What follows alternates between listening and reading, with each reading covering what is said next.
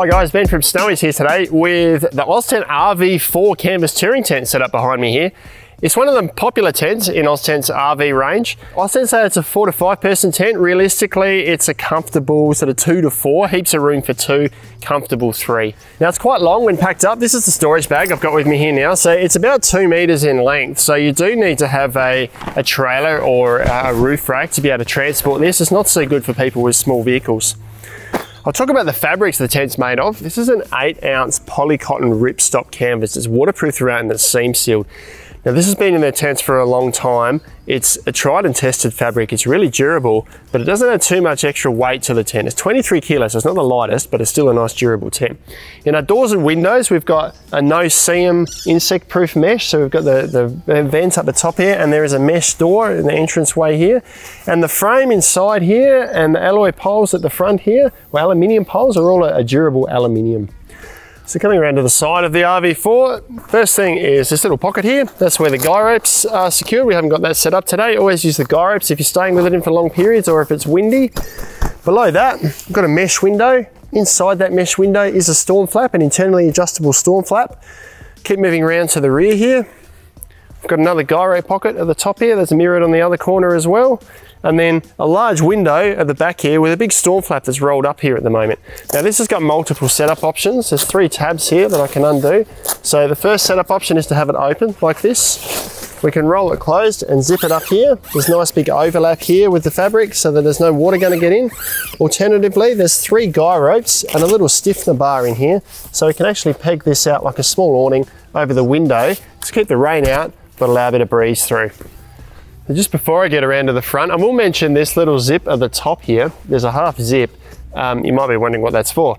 That's to attach accessories like the fly. So um, we'll show you in another video how that works, but um, yeah, you need accessories to attach to that.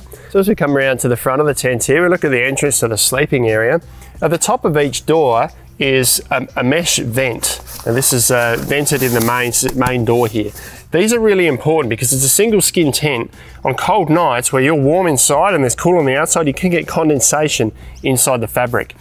These help to mitigate that by allowing hot air to escape. You get less condensation, so make sure you use these vents. This one's rolled up, this one's closed. Rolled up's probably a good spot for those. Now at the front here, we've got a solid panel door and a mesh panel door behind it. These have got zippers, a T-zipper to close them all up. And I haven't mentioned the floor yet, but this is a heavy duty PVC heat welded floor, really durable and tough floor. We'll jump inside and show you what's in here. So sitting inside the RV4 here now, it's uh, as with all Oztent products, it's simple and it's functional. I'll start at the base, uh, a couple of uh, storage pockets. There's one on this side and one on this side, just for your essentials. As we move up the walls, you can see that durable aluminium frame that Oztent's well known for.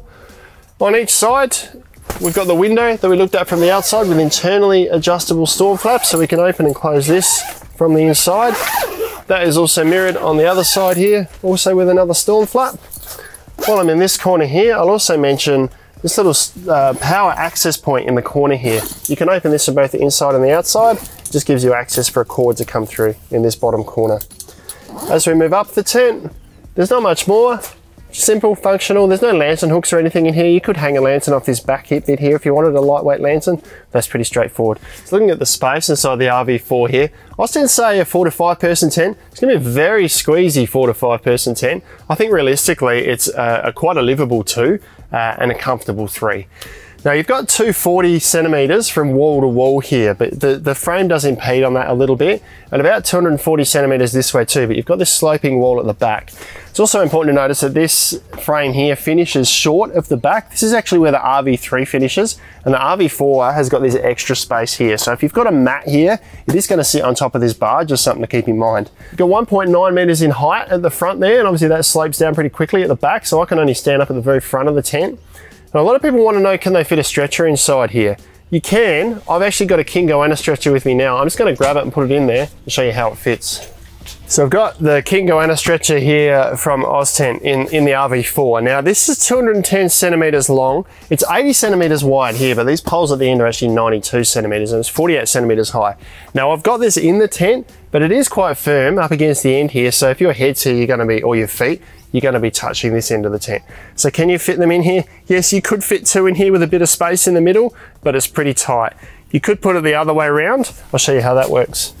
So I'll switch the King Goanna stretcher around now and it fits quite comfortably lengthways this way and you could actually fit a second one in here. Um, but you don't have any walking space around the stretchers and you've got a bit of wasted space down the back here. So answer to the question, can you fit stretchers in the RV4? One, definitely. Two, yes, but with two, you're not gonna have much walking space around the stretcher.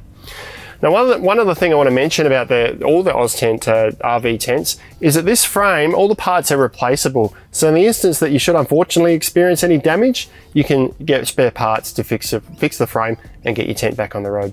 Now you can pick them up off our website at snowys.com.au with lowest prices every day with free delivery to just about anywhere in Australia. Thanks for watching. We'll see you next time.